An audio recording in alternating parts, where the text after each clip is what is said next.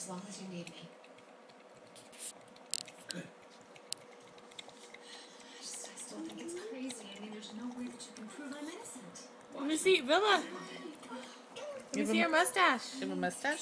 You, you, you, you kidnap me after my sentencing. You, you hire a lookalike to impersonate me in prison.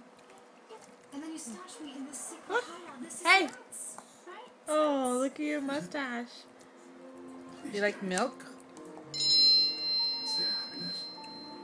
What we're fighting for.